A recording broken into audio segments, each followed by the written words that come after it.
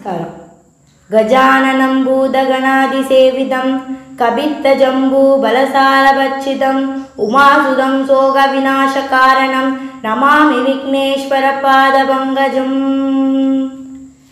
எனக்கு சில கேள்வியெல்லாம் வந்தது யார்கிட்ட கேட்கறதுன்னு தெரியல அப்பாட்ட கேட்போமே அப்படிங்கிறதுக்காக கேட்க போகிறேன்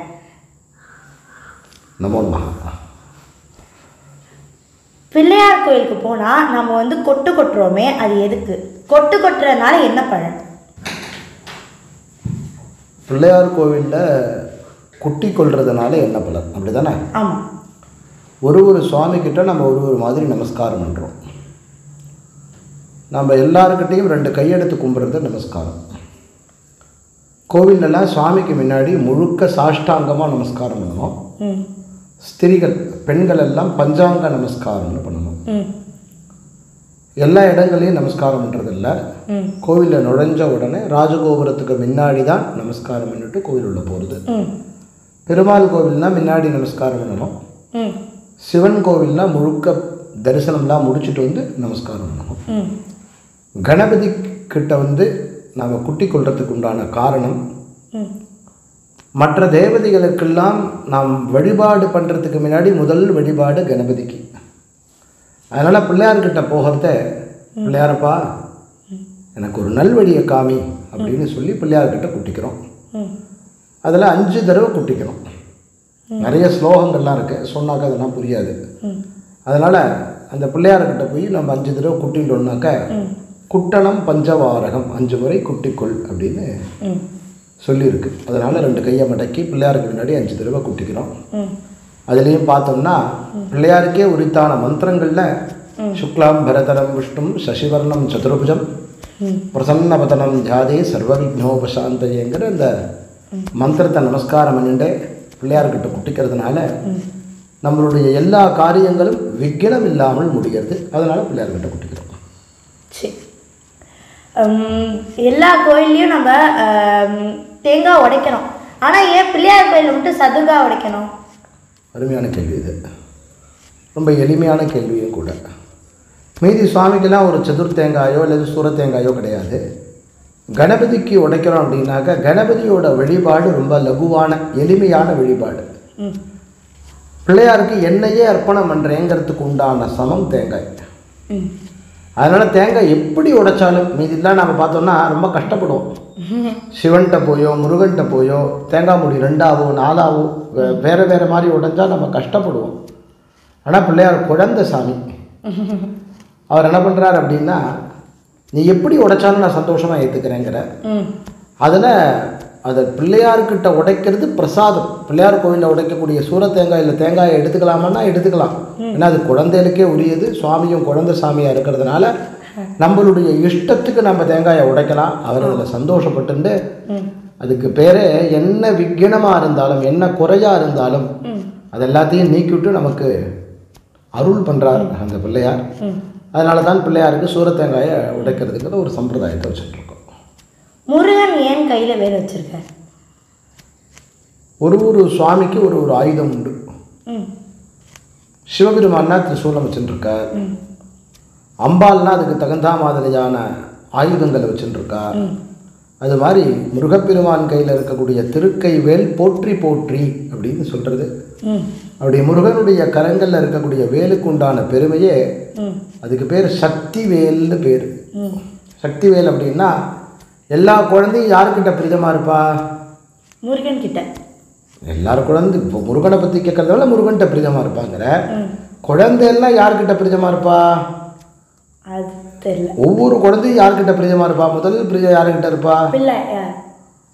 அம்மா கிட்ட இருப்பா. அம்மா கிட்ட இருப்பா. உடனே பிள்ளையார் முருகன் சிவன் விஷ்ணுன்னு போயிடக்கூடாது. புரியுறதா? எல்லா குழந்தையிலையும் அம்மா கிட்ட தான் இருப்பா அது மாதிரி முருகன் அம்மா கிட்ட ரொம்ப பிரிதம். அதனால் முருகப்பெருமானுக்கு ஒரு காப்பு. சின்ன குழந்தையா இருந்த முருகன் அவர் யுத்தத்துக்கு கிளம்புறதுக்கு முன்னாடி அவருக்கு ஒரு காப்பாக அம்மா நம்மெல்லாம் வெளியில் கிளம்பினோம்னா திருஷ்டி சுற்றி போடுவா. கையில் காப்பு கட்டி விடுவா குழந்தை நீ நன்னா வருவிடாம்பா.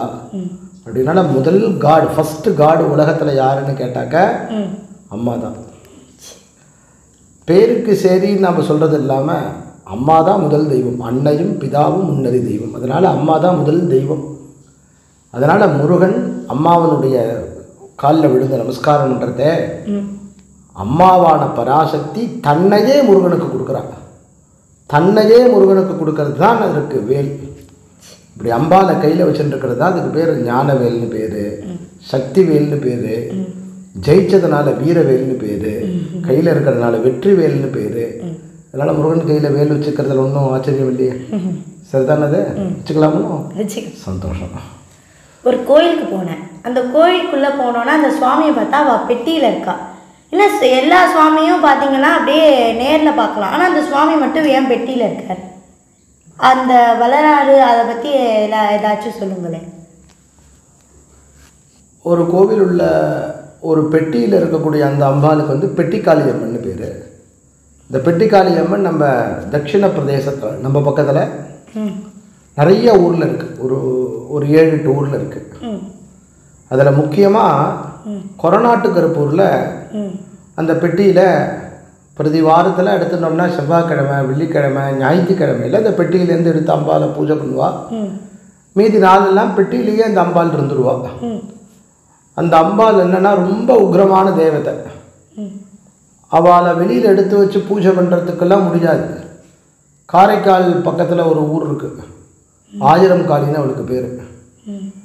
இப்போ ஒரு நாலு வருஷத்துக்கு ஒரு முறை தான் அந்த அம்பாளை வெளியில் எடுப்பாள் அவள் வெளியில் எடுத்து வைக்கிறத பார்த்தோன்னா எல்லாமே நைவேத்தியம்லாம் எடுத்தோன்னா ஆயிரம் ஆயிரம் பண்ணுவாள் தேங்காய்னா ஆயிரம் வாழைப்பழம்னா ஆயிரம் இப்போ எல்லாமே புஷ்பம்னா ஆயிரம்னு எல்லாம் ஆயிரம். ஆயிரம் காளின்னு பேர். இது மாதிரி இந்த இந்த ஊர்லலாம் இருக்குது இதில் பெட்டிக்காளியம்மன் தான் நீ பார்த்த ஊர்.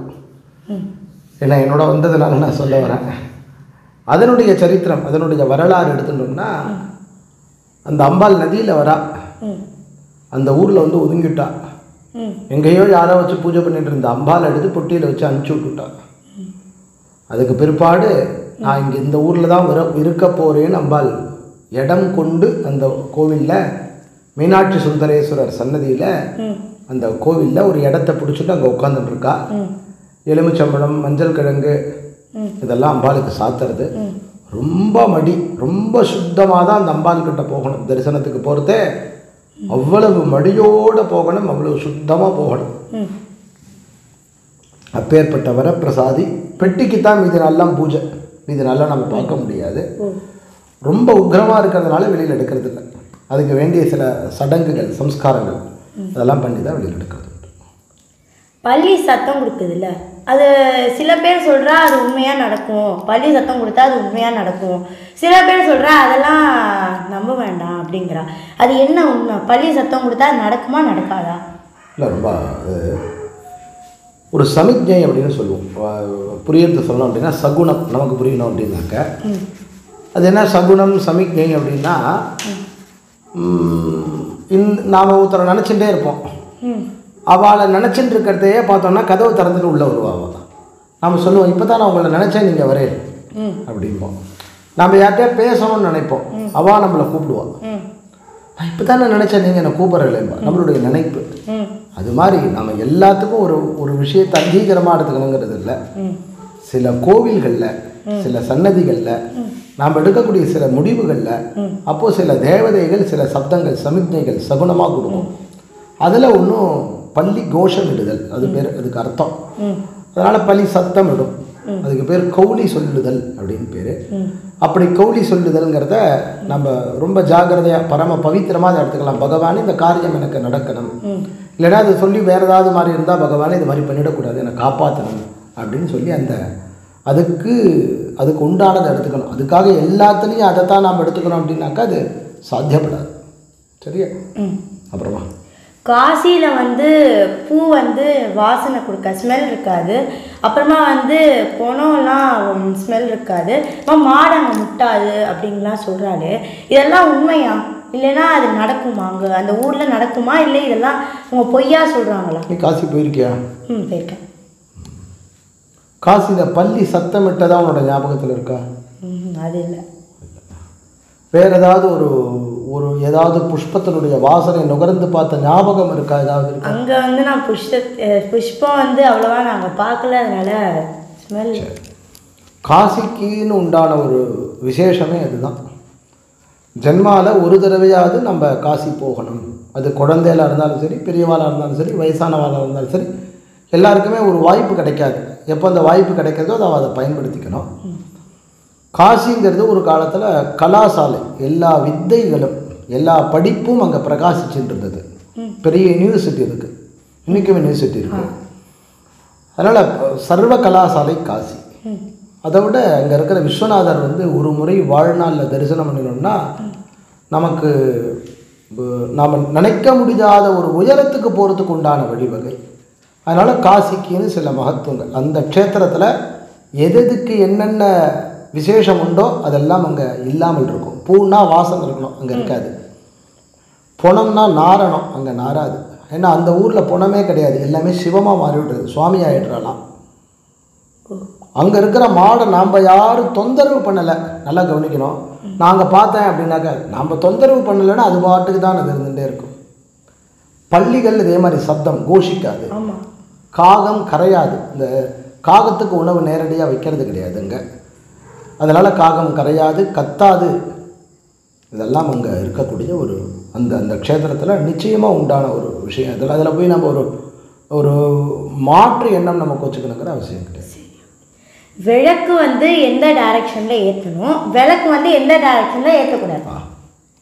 இந்த தீபம் ஏற்றுறதுங்கிறதே நம்ம காலையிலையும் சாயந்தரம் நம்ம கிரகத்தில் நம்ம பாத்திரம் நம்ம பண்ணுறது உண்டு. தீபம் பூர்வம்னு கிழக்கு திசை தான் கிழக்க பார்க்க ஏற்றணும் ம். வடக்க பார்க்க ஏற்றணும் இந்த கிழக்கும் வடக்கும் தான் ரொம்ப உத்தமம். ஈஸ்ட் தான். காலையில் பார்த்தோம்னா பகவான் சூரிய பகவான் நமக்கு கண்ணுக்கு எதிர்த்தா மாதிரி தெரியுற சூரிய பகவான் கிழக்கத்தான் உதிக்கிறார். காலையில் எழுந்த உடனே அங்கே தான் பார்க்குறோம். அதனால் கிழக்கு திசையை பார்த்து தான் ஏற்றணும் சகல மங்களகரமான காரியங்களுக்கும் கிழக்குத்தான் உத்தமம். ம். அதே மாதிரி அந்த குத்து விளக்குலையோ மற்றதுலையோ அஞ்சு முகம் ஏற்றிட்டு வரது. பிரதட்சணமாக கோவிலை எப்படி சுற்றி வரமோ அது மாதிரி பிரதட்சணமாக தான் ஏற்றிட்டு வரணும். தெற்கு முகமாக ஏற்றக்கூடாது அது அது சுபமான காரியங்களுக்கு கிடையாது. சவுத். அதனால் தெற்கு முகமாக ஏற்றக்கூடாது. ஏற்ற மீதி திசைகளில் உத்தமமாக சொல்லப்பட்டிருக்கு. பூ வந்து பூ வாசனை புஷ்பம் தான் சுவாமிக்கு சாத்தணுங்க. சில சில பூ வந்து வாசனையே எல்லாம் ஆனால் அது மட்டும் சா சுவாமிக்கு சாத்துறாங்க. அது என்ன? இல்லையே அப்படி கிடையாது. வாசன புஷ்பம் தான் சுவாமிக்கு சாத்துவா? இல்லை சில புஷ்பங்கள் வாசனை இல்லை ஆனால் அது சாத்துறாங்க ஏதாவது ஒரு புஷ்பம் சொல்ல முடியுமா? அது ஏதாவது? வாசனை இல்லாத பூனை ஏதாவது சொல்ல முடியுமா? வாசனை உள்ள புஷ்பம் தான் சுவாமிக்கு. வாசனை இல்லைன்னா அது நிஷித்தம்னு பேர். பூ பேர் தெரியல ஆனால் எங்கள் ஆற்று ப பக்கத்து ஆற்றுல வந்து அவாத்துல அந்த பூ இருக்குது இல்லையே இருக்காது. நந்தியாவட்டா வாசனமாக இருக்குது நம்ம பார்க்குற புஷ்பங்கள் எல்லாமே வாசனையாக இருக்குது கனகாம்பரம் வாசனை இல்லாமல் இருக்கும். கனகாம்பரம் சுவாமிக்கு சாத்துறது கிடையாது. புரியுறதா வாசனை புஷ்பங்கள் தான் சுவாமிக்கு சாத்துறோம் கையில் வச்சுட்டு இருக்கிற புஷ்பம் சாத்துறது இல்லை. புரியுறதா இதெல்லாம் தான். பிச்சி. பூ சாத்துறது இருக்கே சுவாமிக்கு சாத்துறோம் வாசனை வாசனை உண்டு உண்டு உண்டு வாசனை மலர்களில் உண்டானது தான் அது ஒன்று அதில் ஒன்றும் மாற்றம் கிடையாது சந்தோஷம். பார்க்கலாம். அடுத்த ஒரு பகுதியில் சின்ன குழந்தைக்கு வரக்கூடிய சந்தேகங்கள். சின்ன சின்ன சந்தேகங்கள் சின்ன சின்ன பதில்கள் குழந்தைக்கு ஏற்படக்கூடிய அன்றாடம் ஏற்படக்கூடிய சந்தேகங்களோடு நமக்கு தெரிந்த பதில்களோடு எல்லோரும் எளிதாக அனுபவிப்போம் அருள் பெறுவோம். அடுத்த பகுதியில் சந்திப்போம். நம சிவா